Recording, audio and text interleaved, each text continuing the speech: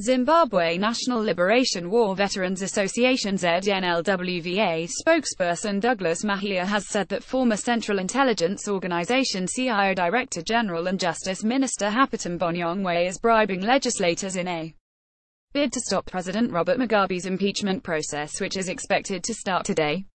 He said this while addressing Zimbabweans that are gathered at Africa Unity Square ahead of the impeachment proceedings. Mahiya also claims that Esau Mupfumi is also trying to bribe members of parliament in a bid to stop President Mugabe's impeachment.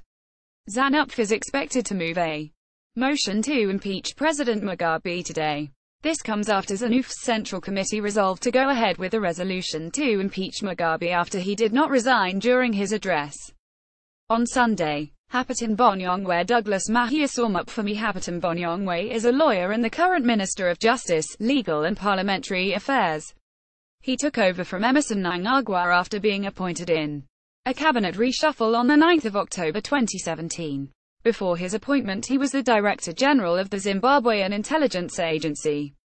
Read more about Happyton Bonyongwe Douglas Mahiya is a Zimbabwean politician and a member of the Zimbabwe National Liberation War Veterans Association. Read more about Douglas Mahiya Esau Mupfumi as a Zimbabwean businessman and politician who is a member of ZANU-PF.